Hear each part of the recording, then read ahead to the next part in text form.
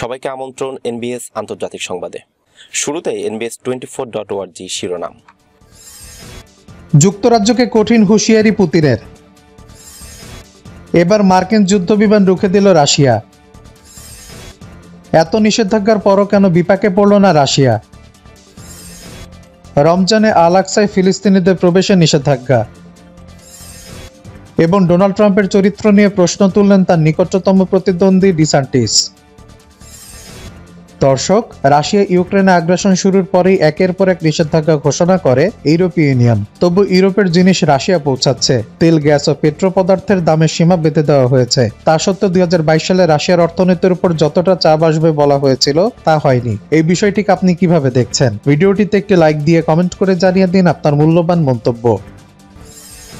দর্শক এতক্ষণ শুনছিলেন শিরোনাম এবার বিস্তারিত। বিস্তারিত খবর পড়ছি আমি ফজলে রাব্বি। যুক্তরাজ্যকে কঠিন হুঁশিয়ারি পুতিনের। যুক্তরাজ্য যদি ইউক্রেনকে ডিপ্লেটেড ইউরেনিয়াম সমৃদ্ধ আর্মর ফিয়াসেই ট্যাঙ্কের শেল সরবরাহ করলে মস্কো প্রতিক্রিয়া জানাতে বাধ্য হবে বলে হুঁশিয়ারি দিয়েছেন রাশিয়ার প্রেসিডেন্ট ভ্লাদিমির পুতিন। আন্তর্জাতিক সংবাদ মাধ্যম আল জাজিরা জানায়, বুধবার একুশে মার্চ ক্রেমলিনের চীনের প্রেসিডেন্ট শি জিনপিং এর সঙ্গে আলোচনার পর পুতিন সাংবাদিকদের কথা বলেন। পুতিন বলেন, যুক্তরাজ্য ইউক্রেনে শুধু ট্যাঙ্ক সরবরাহের ঘোষণাই দেয়নি, ডিপ্লেটেড ইউরেনিয়ামে শেলও দেওয়ার ঘোষণা দিয়েছে। যদি এটি ঘটে তবে রাশিয়া বসে থাকবে না। অবস্থা অনুযায়ী রাশিয়া প্রতিক্রিয়া জানাতে বাধ্য হবে। তিনি আরও বলেন পশ্চিমার ইতিমধ্যে সম্মিলিতভাবে পারমাণবিক উপাদান সহ অস্ত্র ব্যবহার শুরু করেছে।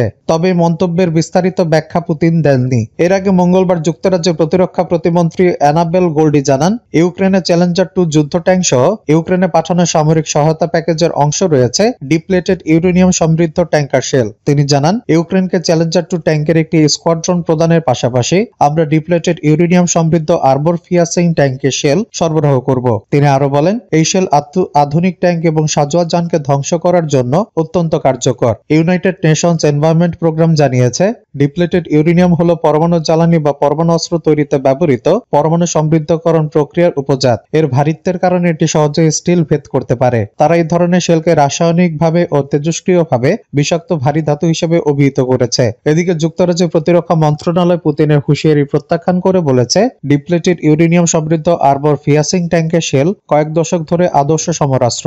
এটির সঙ্গে পারমাণবিক অস্ত্রের কোনো সম্পর্ক নেই। তাদের দাবির বিষয়টি রাশিয়া জানার পরও ইচ্ছাকৃতভাবে বিকৃত করার চেষ্টা করছে। এবার মার্কিন যুদ্ধ বিমান রুখে দিল রাশিয়া।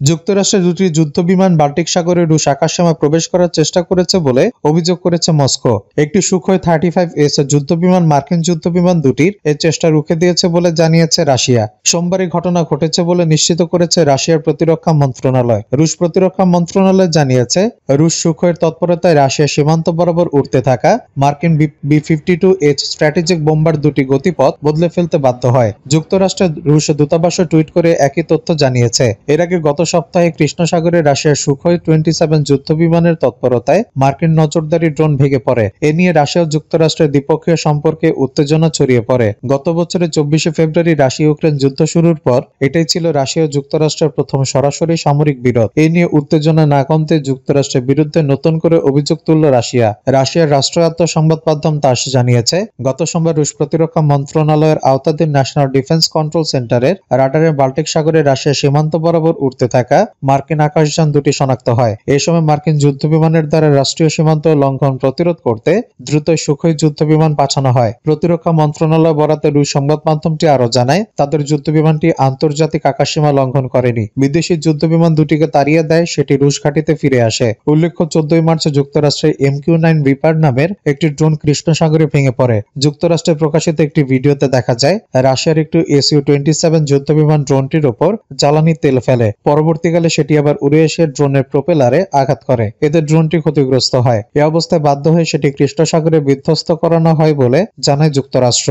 রাশিয়ার পররাষ্ট্র মন্ত্রণালয়ের অভিযোগ, ওই ড্রোন কৃষ্ণ সাগরে আকাশসময় নিয়ন্ত্রণ হারিয়েছিল, ফলে সেটি নিচে পড়তে থাকে এবং সাগরে বিধ্বস্ত হয়। রাশিয়া ইউক্রেন যুদ্ধের জন্য রাশিয়ার ব্যবহৃত আকাশসীমার বিধিনিষেধ লঙ্ঘন করেছিল সেটি। তবে যুক্তরাষ্ট্র জানায় রাশিয়া ইউক্রেন যুদ্ধ শুরু হওয়ার আগে থেকে নজরদারির কাজে কৃষ্ণ সাগরে আকাশসময় M Q nine Reaper drone দিয়ে অভিযান চালিয়ে আসছে যুক্তরাষ্ট্র। এই ড্রোনও একই অভিযানে ছিল। তবে দেশটির কর্মকর্তারা বলছেন, সেদিন রুশের যুদ্ধ বিমানের কর্মকাণ্ড ছিল বেপরোয়া ও অপেশাদার। এত নিষেধাজ্ঞার পরও কেন বিপাকে পড়ল না রাশিয়া?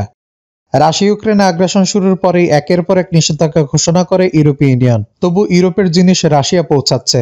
গত বছরের চব্বিশে ফেব্রুয়ারি রাশিয়া ইউক্রেন হামলার পর থেকে ইউ অন্তত দশ বার রাশিয়ার বিরুদ্ধে নিষেধাজ্ঞা জারি করেছে। রাশিয়া থেকে আমদানি ও রপ্তানির উপর নিষেধাজ্ঞা জারি হয়েছে। সমুদ্র পথে রাশিয়া থেকে তেল আসছে না। তেল, গ্যাস ও পেট্রো পদার্থের দামের সীমা বেঁধে দেওয়া হয়েছে। তা সত্ত্বেও দুই হাজার বাইশ সালে রাশিয়ার অর্থনীতির উপর যতটা চাপ আসবে বলা হয়েছিল তা হয়নি। ইনস্টিটিউট অফ ইন্টারন্যাশনাল ফিন্যান্সের প্রধান অর্থনীতিবিদ রবিন ব্রুকস বলেছেন রাশিয়ার উপর ইউ যখন নিষেধাজ্ঞা জারি করল, তখন তেলের উপর সম্পূর্ণ নিষেধাজ্ঞা জারি করা হয়নি। কারণ তখন ভয় ছিল, এই কাজ করলে বিশ্বজুড়ে তেলের দাম অনেকটাই বেড়ে যাবে। তার চাপ সামলাতে গিয়ে বিপাকে পড়বে দেশগুলো। ব্রুকস জানিয়েছে, এর মানে এই নয় যে নিষেধাজ্ঞা কাজ করেনি। কিন্তু এটিও ঘটনা, তেল বিক্রি করে রাশিয়ার হাতে প্রচুর অর্থ জমা হয়েছে। ব্রাসেলসের থিঙ্ক ট্যাঙ্ক ব্রুগলসের মারিয়া ডেমোর্টিজেস বলেছেন, এখন তাই নিষেধাজ্ঞার পাশাপাশি তা কীভাবে বাস্তবায়িত হচ্ছে, তার উপরে জোর দেওয়া হচ্ছে। জার্মান অর্থ মন্ত্রণালয় ফেব্রুয়ারিতে একটি পেপার প্রকাশ করেছে। সেখানে বলা হয়েছে, ইউ থেকে জিনিস তৃতীয় কোনো দেশে যাচ্ছে। সেখান থেকে জিনিসগুলো রাশিয়ায় পৌঁছে যাচ্ছে। জার্মানি অর্থমন্ত্রী পেপার প্রকাশ করে সাংবাদিকদের জানিয়েছেন, উচ্চ প্রযুক্তির জিনিস রাশিয়া সামরিক ক্ষেত্রে কাজে লাগাতে পারে। ইউর বর্তমান নিষেধাজ্ঞা অনুসারে রাশিয়াকে কোনো প্রযুক্তি হস্তান্তর করা যাবে না। সেমিকন্ডাক্টর, ইলেকট্রনিক ও ইলেকট্রিক্যাল জিনিস রাশিয়ায় পাঠানো যায় না। ড্রোন, এনক্রিপশন টুলসও সেখানে পাঠানোর উপর নিষেধাজ্ঞা আছে। কোনো সরকারি নথি নেই, তবু সন্দেহ আছে। মারিয়া বলেন, যেসব দেশ রাশিয়ার উপর নিষেধাজ্ঞা জারি করেনি, তাদের উপরে সন্দেহ গিয়ে পড়েছে। তার মতে এই ক্ষেত্রে দুটি প্রধান দেশ হলো চীন ও তুরস্ক। ইউরোপীয় ব্যাংক ফর রিকনস্ট্রাকশন এন্ড ডেভেলপমেন্টের প্রধান অর্থনীতিবিদ জাভারসিক এই তালিকায় আরও তিনটি দেশের নাম যোগ করেছেন কাজাকস্তান কিরগিজিস্তান ও আর্মেনিয়া। অনলাইন সাক্ষাৎকারে তিনি বলেছেন, যদি ইউ থেকে রাশিয়া রপ্তানি বিষয়টি দেখা হয়, তাহলে তা ষাট শতাংশ কমেছে। কিন্তু একই সঙ্গে কিরগিজিস্তান কাজাকস্তান আর্মেনিয়ার রপ্তানি অনেকটা বেড়েছে। এ দেশগুলো বেলারুশ ও রাশিয়ার সঙ্গে একই সঙ্গে ইউরেশিয়ান কাস্টমস ইউনিয়ন আছে। তাই একবার এসব দেশে কোনো জিনিস পৌঁছে গেলে তার উপর আর নজর রাখা সম্ভব নয়। যে জিনিসগুলো সরাসরি রাশিয়া যেত, তা এখন এসব দেশের মাধ্যমে যাচ্ছে। জার্মানির অর্থ মন্ত্রণালয় একটি বিবৃতি দিয়ে জানিয়েছে, তারা ইউ কমিশনের সঙ্গে একযোগে কাজ করছে। জার্মানি তার বাণিজ্যিক সহযোগী দেশগুলোর উপর কড়া নজরে রাখছে। দেখা হচ্ছে, এখান থেকে প্রত্যক্ষ বা পরোক্ষভাবে কোনো জিনিস রাশিয়া যাচ্ছে কিনা। এছাড়া করা ব্যবস্থা নেওয়া হচ্ছে। যেমন তুরস্কের বিরুদ্ধে নিষেধাজ্ঞা এড়িয়ে যাওয়ার অভিযোগ ছিল। তারাও এখন সম্ভবত তা বন্ধ করেছে। ইউ যুক্তরাষ্ট্র যৌথ বিবৃতি জারি করে বলেছে, নিষেধাজ্ঞা আরও কড়াভাবে রূপায়ণ করা হবে। রমজানে আল আকসায় ফিলিস্তিনিদের প্রবেশে নিষেধাজ্ঞা। পবিত্র রমজান মাসে ফিলিস্তিনিদের আলাকসা মসজিদে প্রবেশের বিষয়ে বিভিন্ন বিধিনিষেধ ঘোষণা করেছে ইসরায়েল। মঙ্গলবার কাতারের অর্থায়নে পরিচালিত মিডল ইস্ট মনিটর তুরস্কের রাষ্ট্রীয় বার্তা সংস্থা আনাদুলু বরাদ দিয়ে তথ্য জানিয়েছে। প্রতিবেদনে বলা হয়, সোমবার ওই অঞ্চলগুলোতে সরকারি কার্যক্রমের সমন্বয়কারী হিসেবে দায়িত্বরত মেজর জেনারেল গাসান আলিয়ান বলেন, সকল বয়সের নারী, বারো বছর পর্যন্ত পুরুষ শিশু এবং পঞ্চান্ন বছরের বেশি বয়সী পুরুষদের রমজানের সময় অনুমতি ছাড়ে আলাকসা মসজিদে প্রবেশের সুযোগ দেওয়া হবে। তিনি আরও বলেন, পঁয়তাল্লিশ থেকে পঞ্চান্ন বছর বয়সী পুরুষরা ইসরায়েলের অনুমতি নিয়ে আলাক্সায় প্রবেশ করতে পারবে। ইসরায়েলি কর্মকর্তা আরও বলেন, পশ্চিম তীরের আটচল্লিশটি অঞ্চলে বসবাসরত আত্মীয়দের সাথে দেখা করার জন্য ফিলিস্তিনিদের নিরাপত্তা অনুমোদন নিতে হবে। একই সাথে তিনি বলেন, বিদেশিরা যদি পশ্চিম তীরে তাদের আত্মীয়দের সাথে দেখা করতে চায়, তাদেরই অনুমোদন নিতে হবে। তিনি জোর দিয়ে বলেন, রমজান মাসে পশ্চিম তীরে বিভিন্ন ক্রসিংয়ের সময় বাড়িয়ে দেওয়া হয়। উল্লেখ্য, ফিলিস্তিনে বারবার ইসরায়েল অভিযানের ফলে সাম্প্রতিক মাসগুলোতে অধিকৃত পশ্চিম তীর উত্তেজনা বেড়েই চলছে। ফিলিস্তিনি পরিসংখ্যান অনুসারে, চলতি বছর ইসরায়েলের গুলিতে প্রায় নব্বই জন ফিলিস্তিনি নিহত হয়েছেন। একই সময়ে পৃথক হামলায় চোদ্দ জন ইসরায়েলি নিহত হয়েছেন।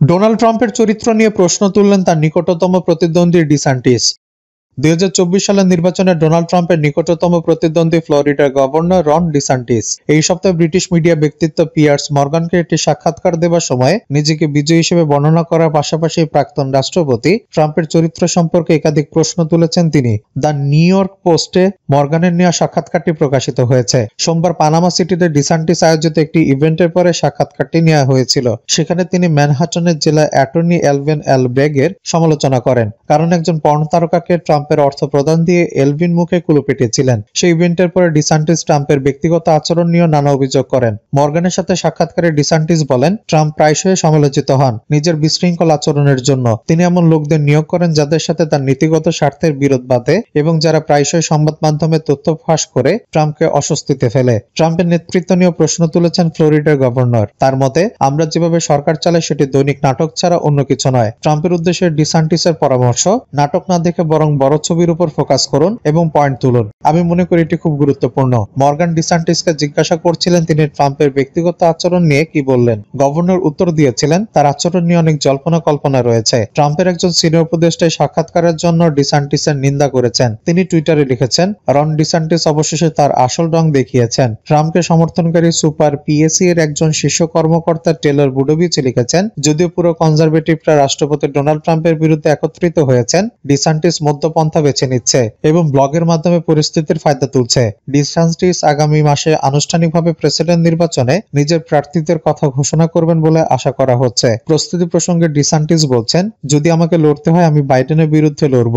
ডিসান্টিস মনে করেন, বাইডেন দেশ চালাতে ব্যর্থ হয়েছেন। আমেরিকাবাসীকে নতুন দেশ গড়ার স্বপ্ন দেখাচ্ছেন প্রেসিডেন্ট পদে সম্ভাব্য এই প্রার্থী। মর্গান দ্য পোস্টে লিখেছেন যে, যখন তিনি নেতাদের আচরণ সম্পর্কে ডিসান্টিসকে একটি প্রশ্ন জিজ্ঞাসা করেছিলেন, তিনি উত্তর দিয়েছিলেন, আপনি সত্যিই কি আমাদের নেতাদের মধ্যে কোনো চরিত্র দেখতে পান? ব্যক্তিগত জীবনে ভুল হতেই পারে। তবে মনে করি আপনি কি ধরনের চরিত্র মানুষের সামনে আনছেন? সেটা গুরুত্বপূর্ণ।